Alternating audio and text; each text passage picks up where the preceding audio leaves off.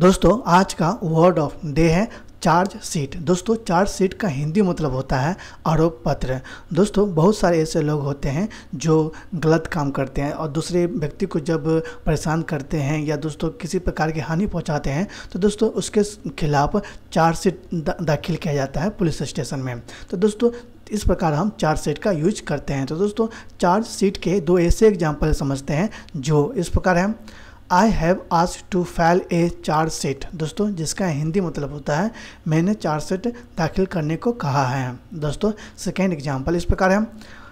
Least two day after handing in the charge sheet it is necessary to give time to C M और related ministry and power to answer दोस्तों, जिसका हिंदी मतलब होता है चार से सौंपने के कम से कम दो दिन बाद सीएम या संबंधित मंत्रियों को समय देना और जवाब देने की शक्ति देना ज़रूरी है।